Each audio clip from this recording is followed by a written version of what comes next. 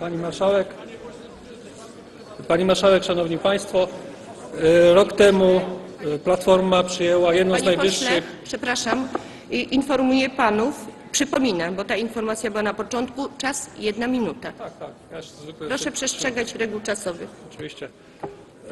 E, Rok temu koalicja rządząca przyjęła jedną z najwyższych stawek mm, VAT-u w Europie, 23% VAT-u. Dzisiaj koalicja proponuje najwyższą stawkę na świecie od e, wydobycia e, rudy miedzi i srebra. Przy czym jeszcze obowiązek podatkowy w tej ustawie powstaje z chwilą wyprodukowania samego koncentratu rudy, jeszcze przed sprzedażą e, miedzi przedsiębiorcom na rynku.